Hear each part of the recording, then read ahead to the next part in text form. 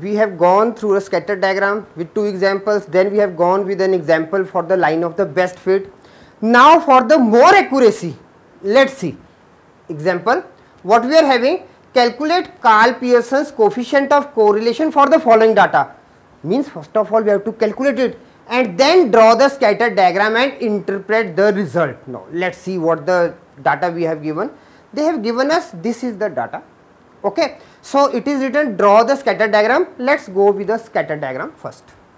So we are having a scatter diagram like this. Is it clear?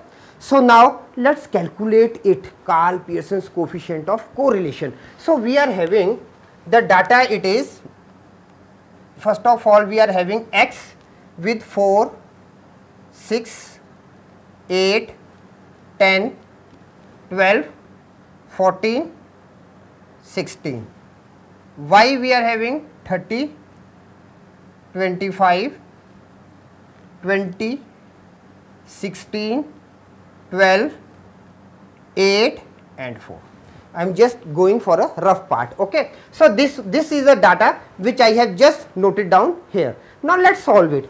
So in what we are doing here first of all we just want x square so it will be 16 36 64 100 144 196 and 256 then we are having y square 900 625 400 256 144 64 and 16 then we want xy so these are the data which we are required now xy 4 with 30 120 6 with 25 150 160 160 144 112 and 64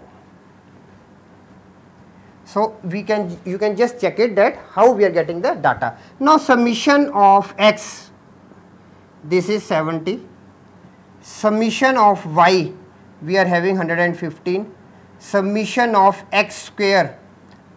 After adding this we are having 812 summation of y square. This we are having 2405 and summation of xy this is 910 and n we are having 7 1 2 3 4 5 6 and 7 is it clear now using the formula rank correlation we are having n times summation of xy minus summation of x summation of y upon square root for n times summation of sorry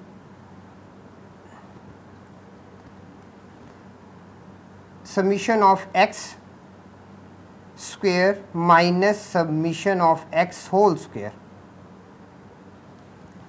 times again square root of n times summation of y square minus summation of y whole square.